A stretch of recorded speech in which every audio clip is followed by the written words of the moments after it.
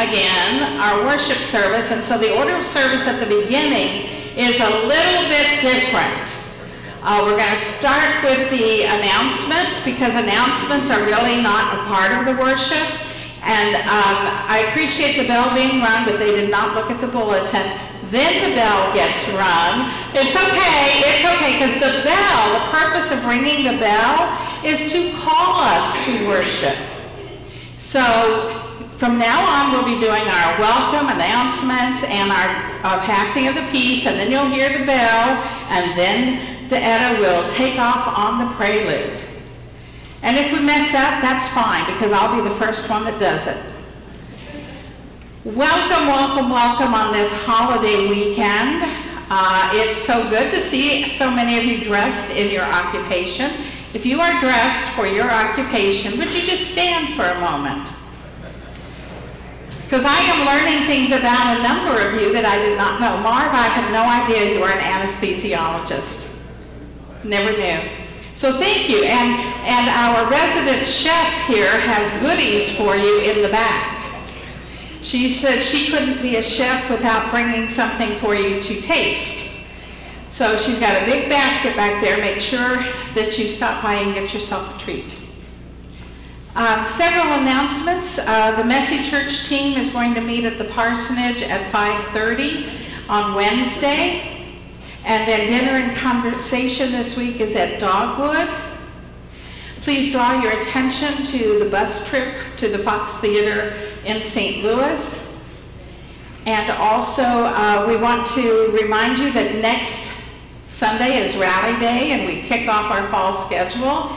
Lots and lots of things going on. The cereal drop will take place, and I know that they would like for you to come on Saturday, if you want to help set up, come on Saturday at 3, at 1, Okay, if that's a one, I don't have my glasses on and that's regular print, sorry. At one, uh, to help set up the cereal boxes. And uh, then two weeks, oh, well, also next week, we're going to present Bibles to the fourth graders. Uh, we will be opening the 150th anniversary time capsule. And I'm trying to think. Hang on.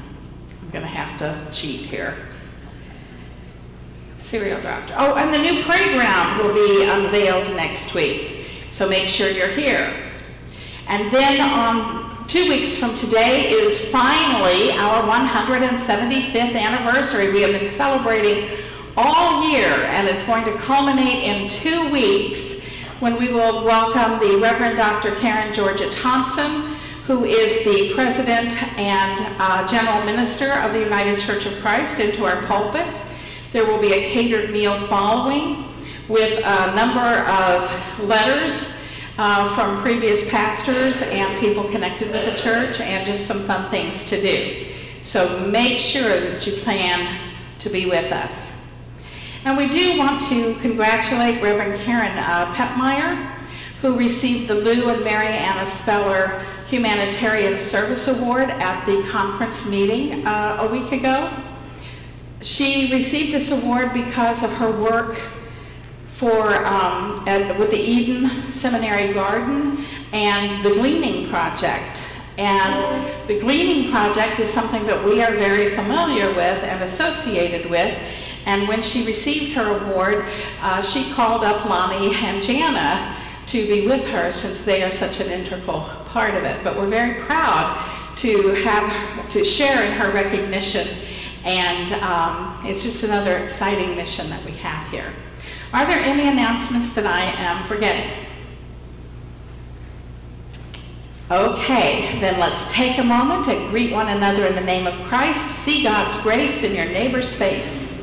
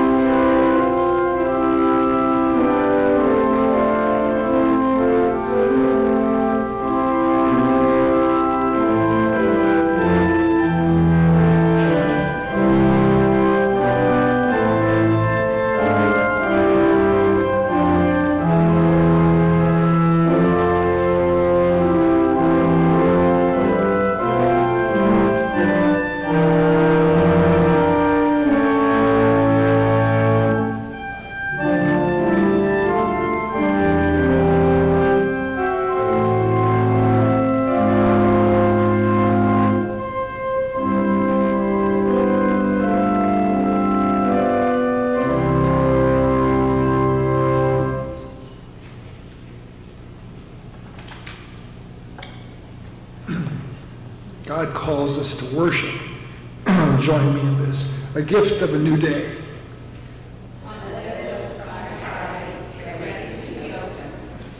A new day with surprising miracles. With love to begin, kindness to cherish, and peace to enjoy. A gift of a new day, God's gift to us.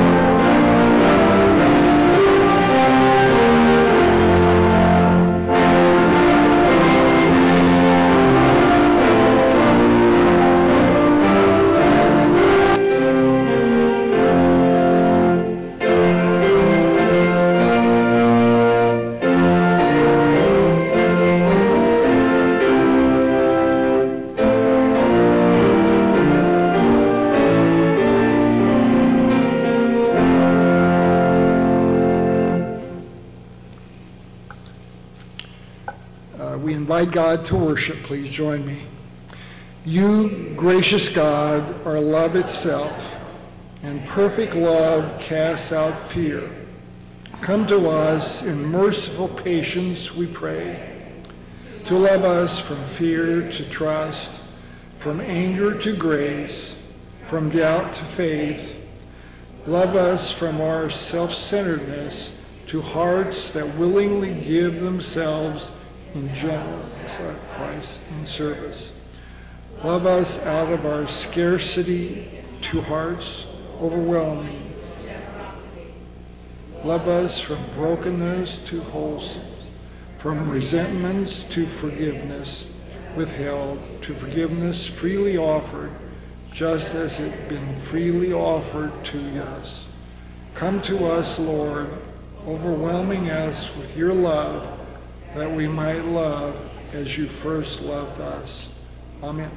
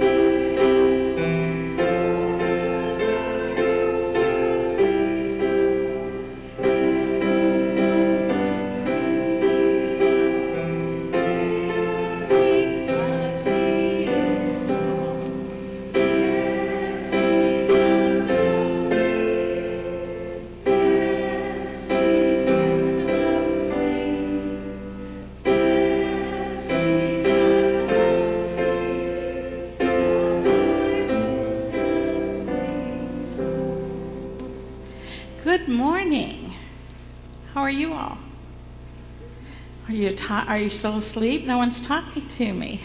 Okay. Still asleep. Okay. Well, I see that some of you did dress up. And uh, are you wanting to be a chef when you grow up? Yes.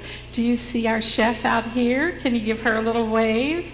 You guys might want to take a picture later. Yeah. Did you? Okay. Excellent.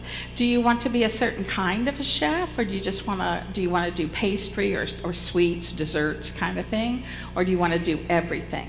I just want to do Everything. Maybe we'll see you. You know, 20 years from now on Top Chef on TV. That would be pretty cool, wouldn't it? Yeah. And uh, Moana, right? Are you wanting to be Moana when you grow up, or do you want to be an actress, or I want to be a princess. a princess? Excellent goal choice. Excellent goal choice.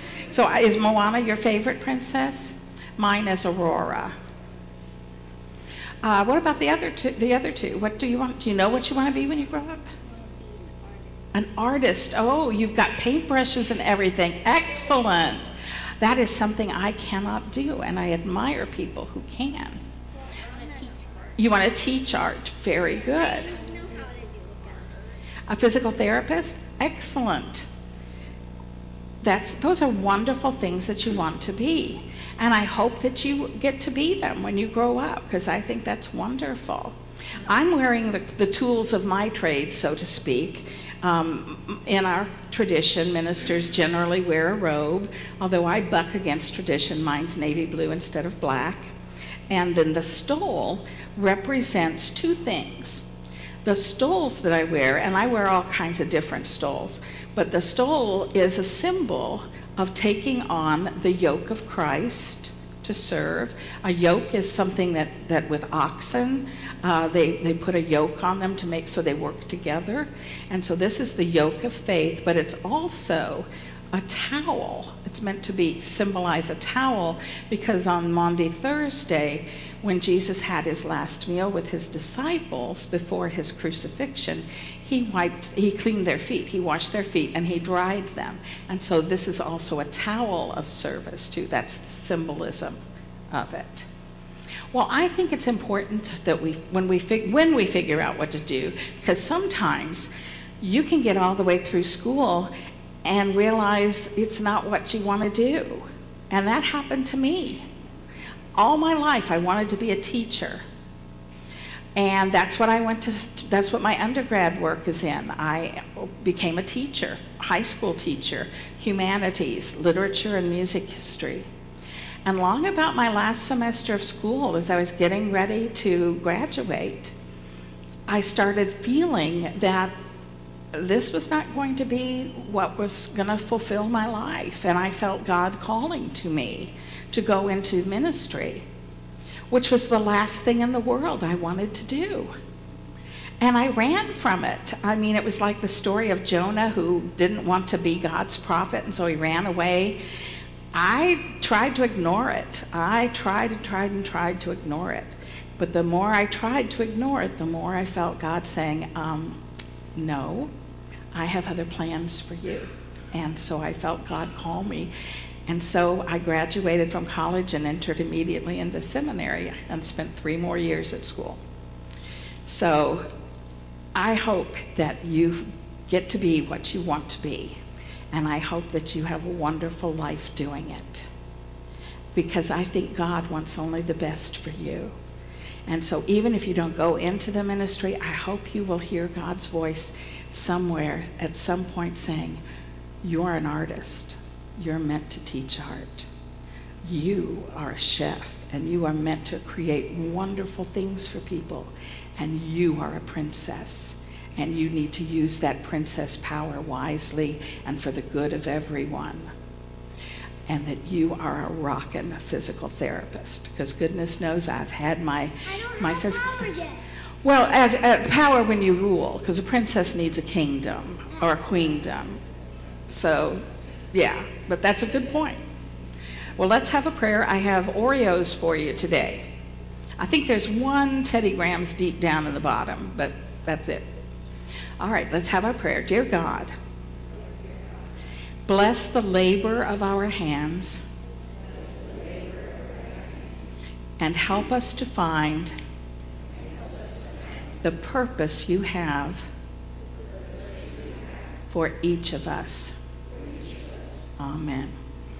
Thank you.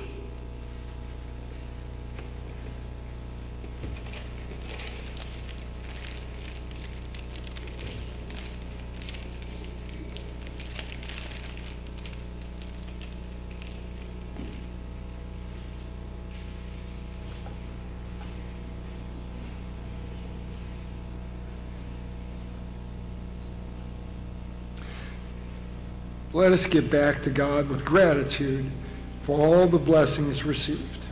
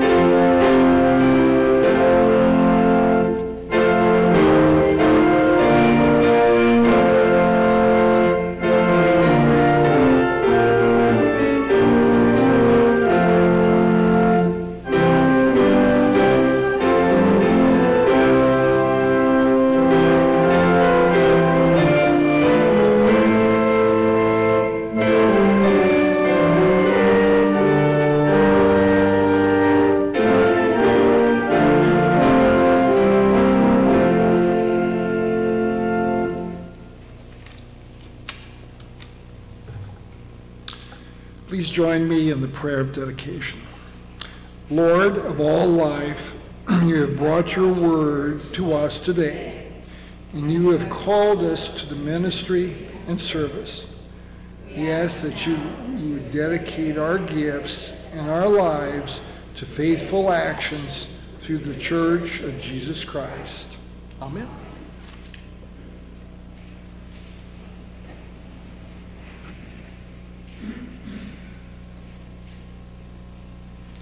As we gather together in prayer, I would ask if there are any prayer requests to add. Yes.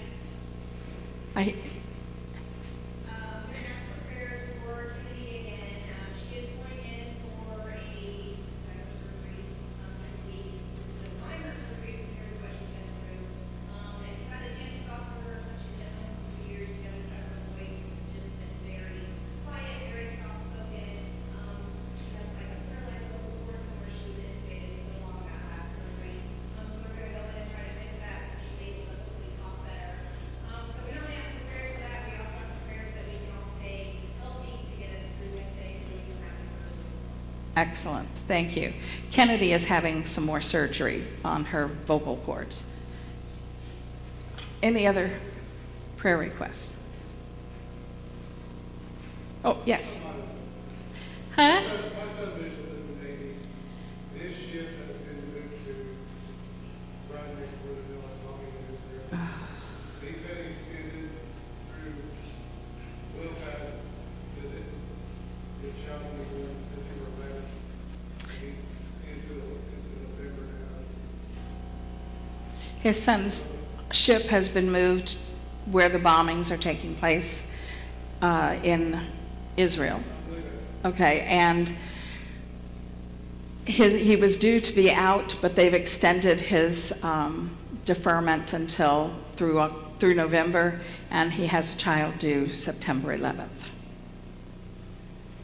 We will certainly keep all of them in our prayers. Any other prayer requests? Then let us turn our hearts and our minds to God in prayer.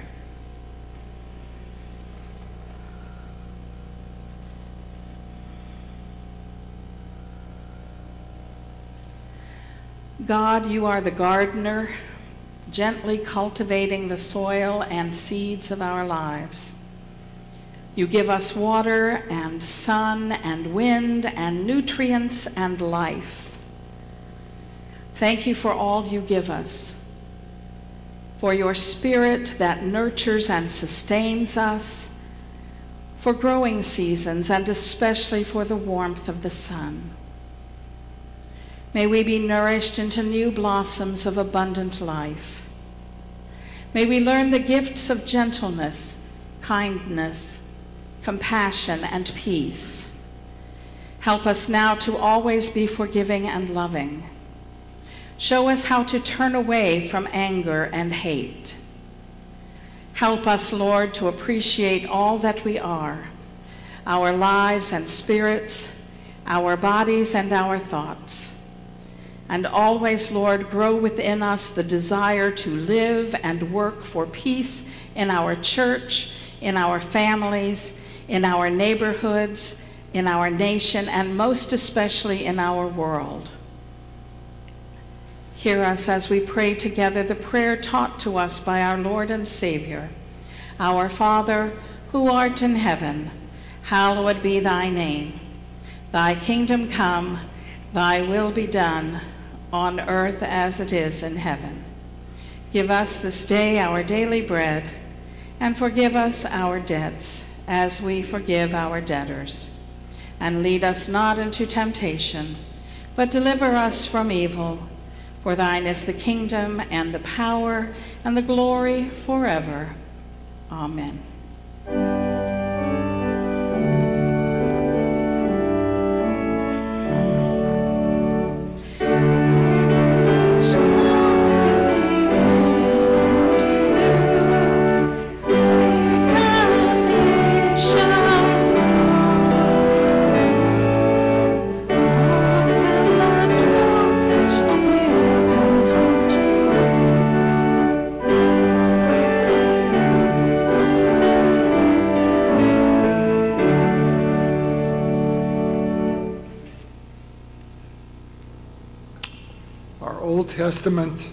Scripture selection is from Song of Solomon, chapter 2, verses 8 through 13.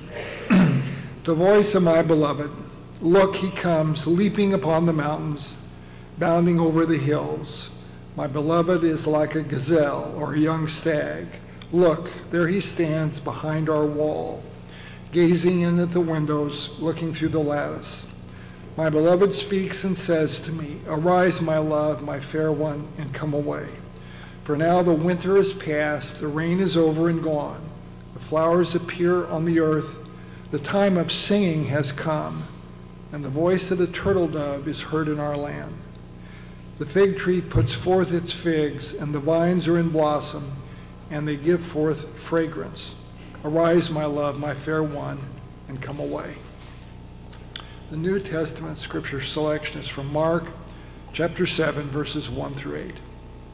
Now, when the Pharisees and some of the scribes had come from Jerusalem, who had, I'm sorry, who had come from Jerusalem, gathered around him, they noticed that some of his disciples were eating with defiled hands, that is, without washing them. For the Pharisees and all the Jews do not eat unless they wash their hands, thus observing the tradition of the elders and they do not eat anything from the market unless they wash. And there are also many other traditions that they observe, the washing of cups and pots and bronze kettles and beds.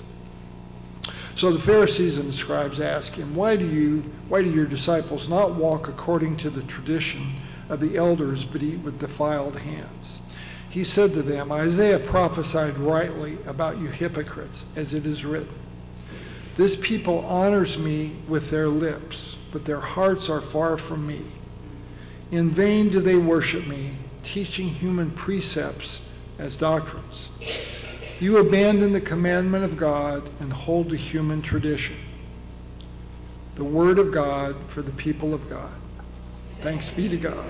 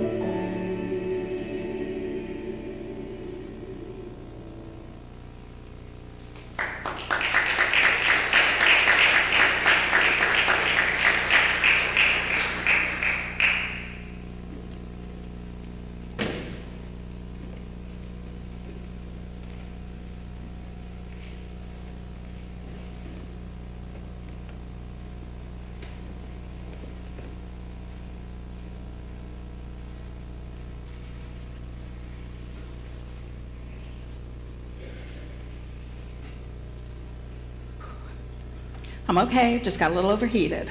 So I thought I'd take off the robe and show you what ministers wear the rest of the week because we know they only work one day a week. Whew.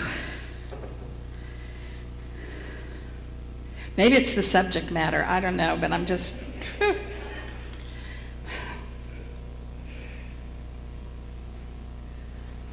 Let us pray.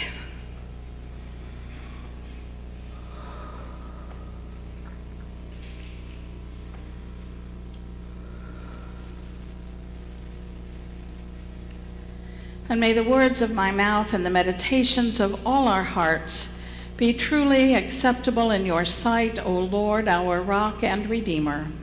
Amen. A story is told of a little girl who was asked to write an essay on birth. She went home and asked her mother how she had been born. And her mother, who was busy at the time, said, The stork brought you, darling, and left you on the doorstep. Continuing her research, she asked her dad how he had been born. Being in the middle of something, her father similar, similarly deflected the question by saying, I was found at the bottom of the garden. The fairies brought me. So then the girl went and asked her grandmother how she had arrived. Oh, I was picked from a gooseberry bush, said the grandma. Well, armed with this information, the girl wrote her essay.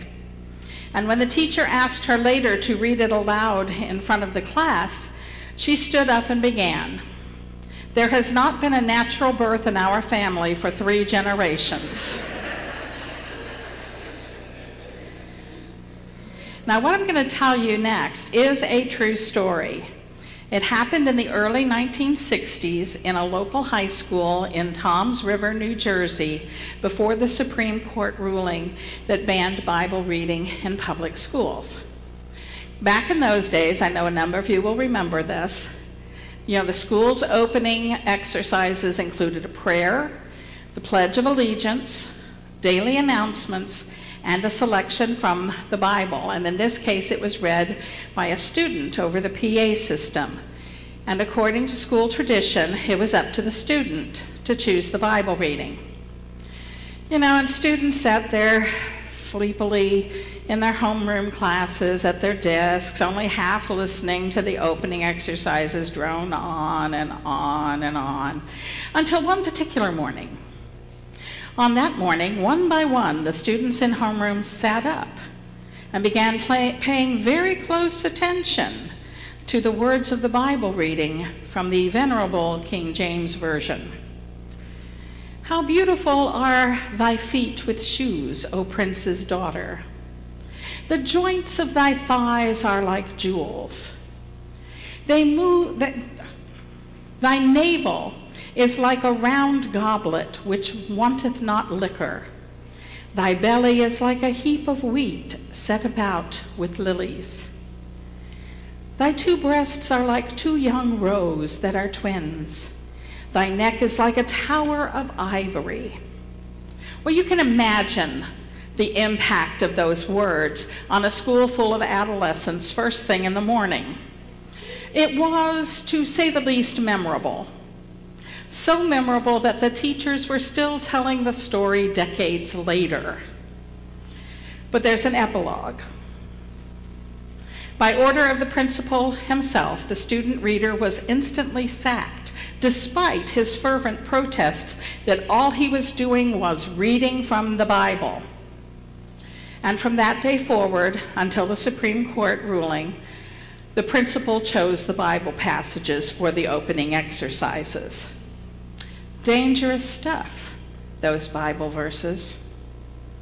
The Song of Songs might be the raciest book in the Bible. And for whatever reason, it only appears in the lectionary on rare occasions. So when it does appear, I like to preach from it. To generations of Christians, the Song of Solomon, or the Song of Songs as it's sometimes called, has been a bit of an embarrassment. It's one of only two books in the Bible, the other one is Esther, that doesn't once directly mention God. And during the Middle Ages, Bible scholars went to elaborate lengths to interpret this book as highly symbolic. Some taught that this florid love poetry was really about the soul's relationship to God.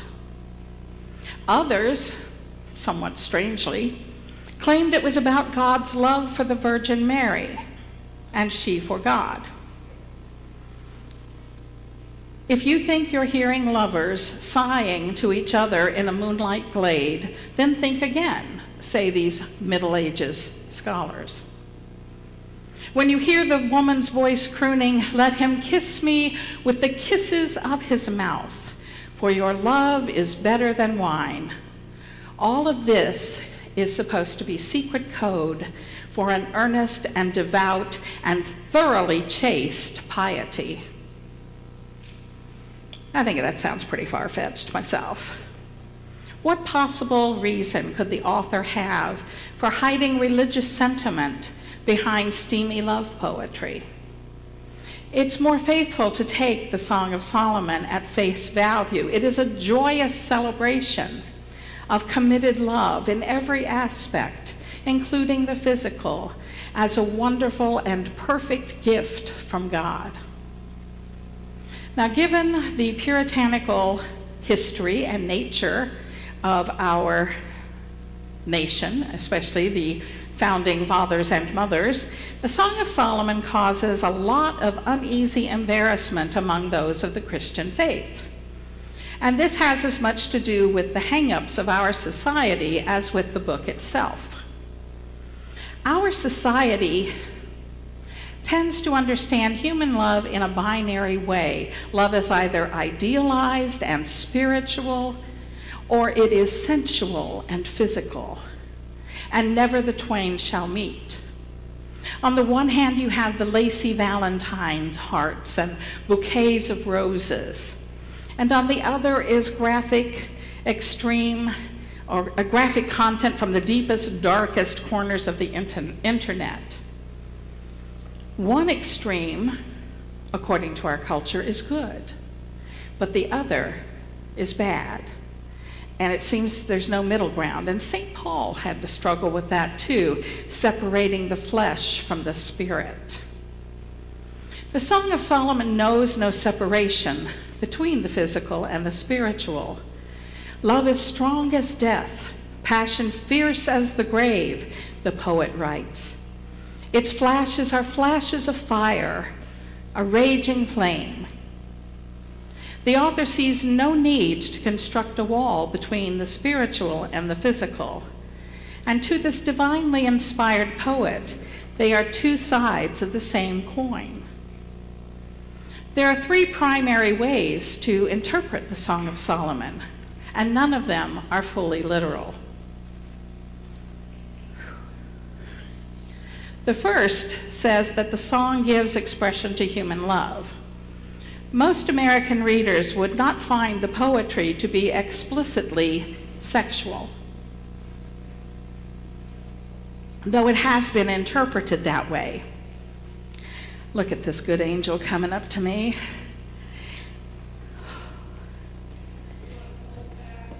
She just brought me something. Thank you. Okay. Oh, thank you. I have one of those little things. I, I wore it at one point, but now I'm going to have to find them and put them up. So sorry about this. Whew. I've been doing too much PT this week. Whew. Thank you. Oh, thank you. okay. Most American readers would not find the poetry to be explicitly sexual, though it has been interpreted that way. It is certainly erotic in one sense or another, and this is likely the original meaning of these songs when written. It is also the understanding of most modern interpreters.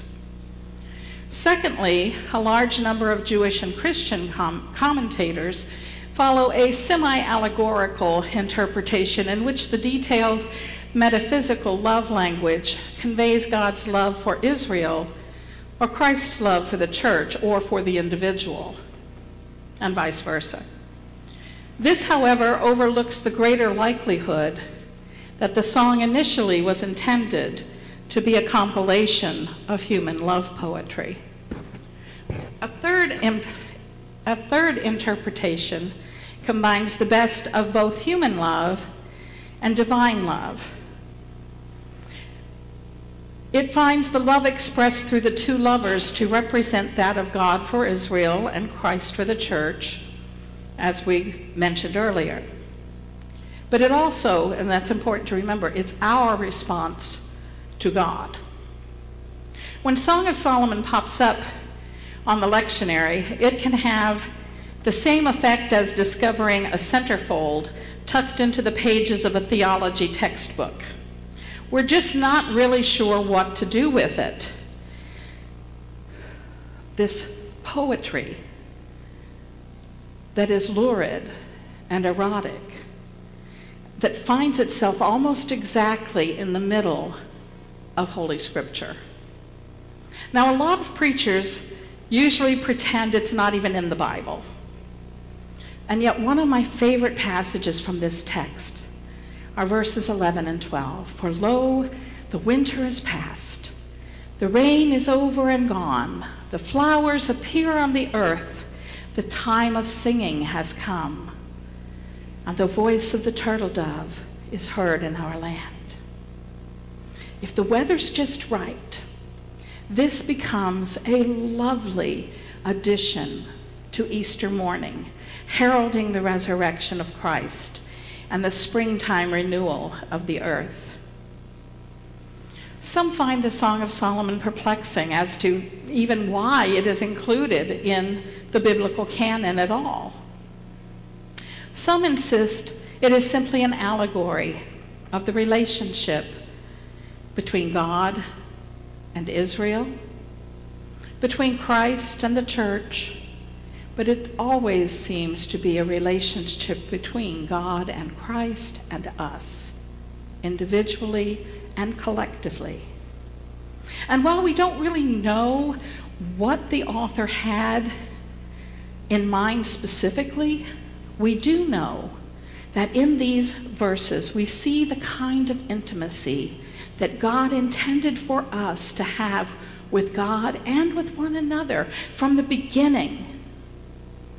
A relationship where desire and commitment win over objectification and selfishness. And it's a relationship that we want to pursue and value and celebrate. In the name of the Father, and the Son, and the Holy Spirit. Amen.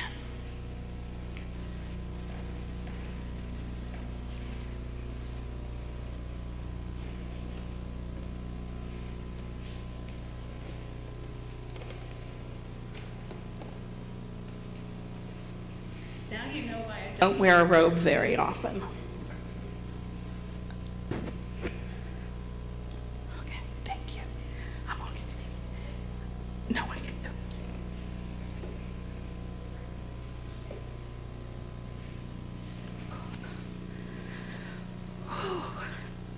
Beloved in Christ, the gospel tells us that on the first day of the week, Jesus Christ was raised from the dead and appeared to Mary Magdalene. And later that day sat at the table with two disciples and was made known to them in the breaking of the bread. This is the joyful feast of the people of God. Men and women, youth and children will come from. I'm, I'm breaking up.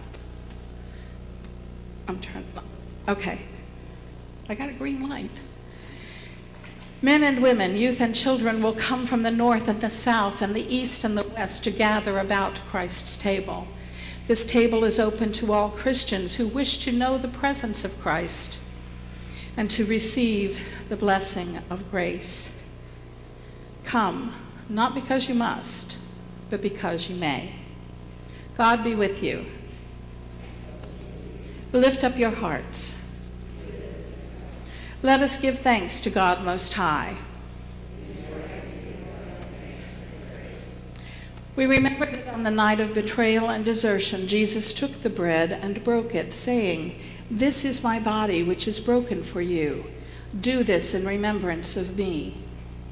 And in the same manner also, he took the cup and said, This cup is the new covenant in my blood. Do this as often as you eat and drink in remembrance of me. Let us pray. Consecrate, therefore, by your Holy Spirit, these gifts of bread and wine, that they may be set apart from a common to a sacred use. Bless those who receive them at this table, that they may be united with Christ and with one another, and may continue to be faithful in all things. Amen. Come, for all is prepared.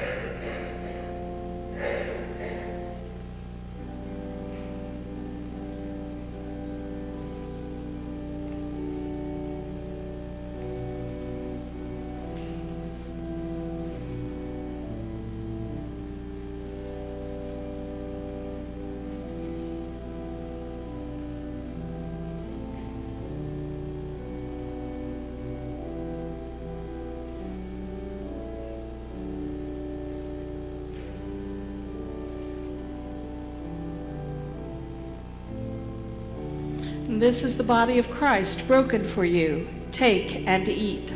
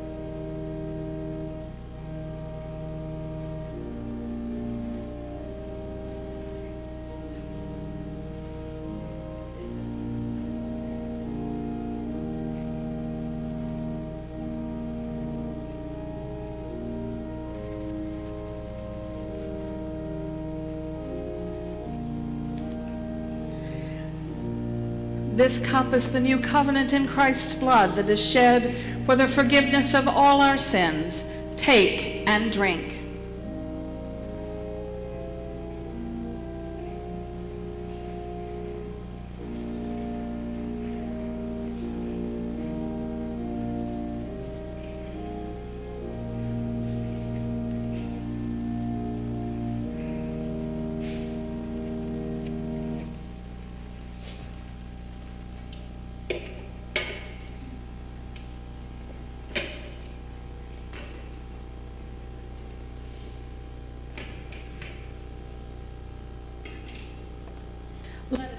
Together in our prayer of thanksgiving. We thank you, God, for inviting us to this table where we have known the presence of Christ and have received all Christ's gifts. Strengthen our faith, increase our love for one another, and let us show forth your grace in our lives through Jesus Christ, our Savior. Amen. Scripture tells us when they finished in the upper room, they sang a hymn. I invite those of you, as you are able, to stand and join with me in our closing hymn.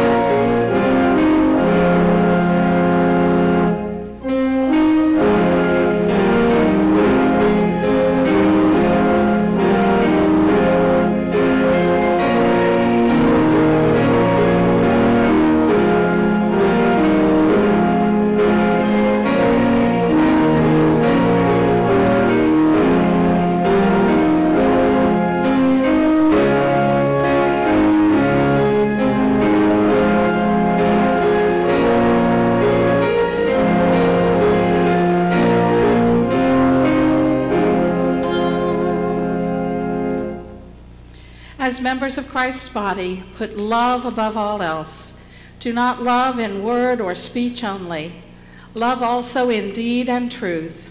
May your relationships with each other be symbols of God's relationship to you.